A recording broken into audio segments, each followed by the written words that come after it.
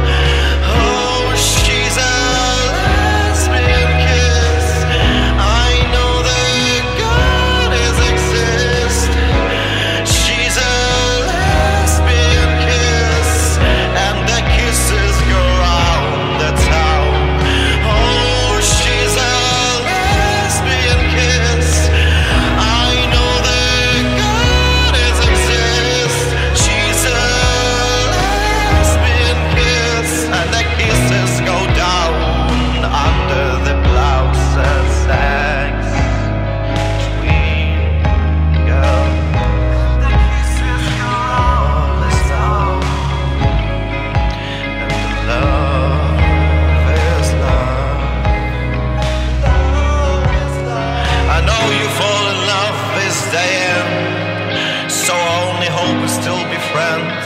Not alone, I have my hands. I have a hope and I have a faith. Not alone, I have a God. I fall in love with someone beyond. I have myself and I have my own hands, which I can play my stones. But what if my hands wanted something?